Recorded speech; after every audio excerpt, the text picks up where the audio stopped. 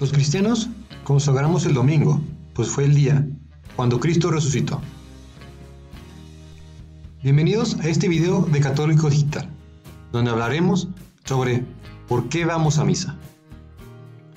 Estoy seguro de que has escuchado gente que dice, yo no voy a misa porque no siento nada, es aburrida, no le encuentro sentido, etc. Y para estos motivos es necesario recordar varias cosas. 1.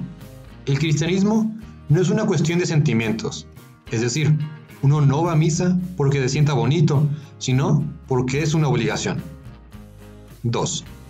No confundamos la misa con un espectáculo que debe divertirnos, pues la misa no se puede comparar con un partido de fútbol o con una película en el cine.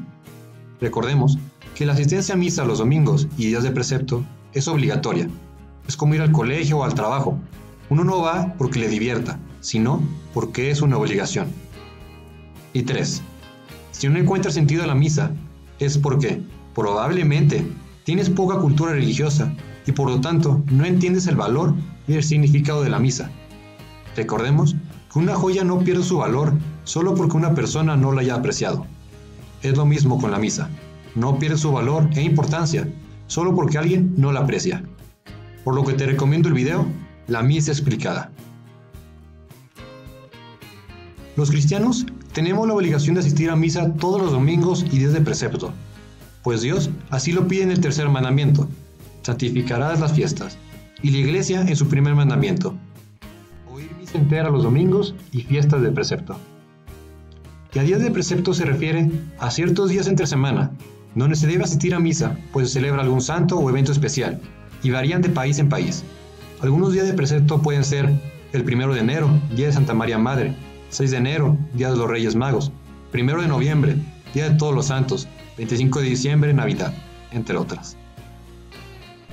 También, el mismo Jesús pidió a sus apóstoles en la última cena, que es de una forma la primera misa, haced esto en memoria mía, dando el mandato a todos sus seguidores de conmemorar su sacrificio en la cruz y su resurrección.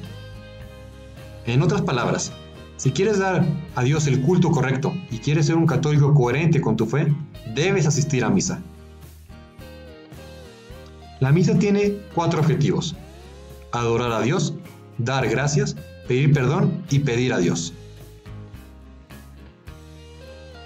Se suele decir que a Dios le importa que hagas obras buenas y no de que vayas a misa. Pero, ¿es verdad esta afirmación? No, pues el mejor modo de adorar a Dios es a través de la misa, no por las obras. Esto no quiere decir que las acciones buenas no son importantes, pero es mucho más importante asistir a misa y también recordemos que la misa da las fuerzas necesarias para realizar las obras buenas que son agradables a los ojos de Dios. Muchas gracias por ver este video y te invito a revisar la lista de reproducción llamada La Misa, donde encontrarás muchos más videos sobre el tema. Y si te gustaría que habláramos de un tema en específico en nuestros videos, no olvides poner tu idea en los comentarios. Antes de que te vayas, te invito a que te suscribas y actives la campana para que no te pierdas ninguna noticia.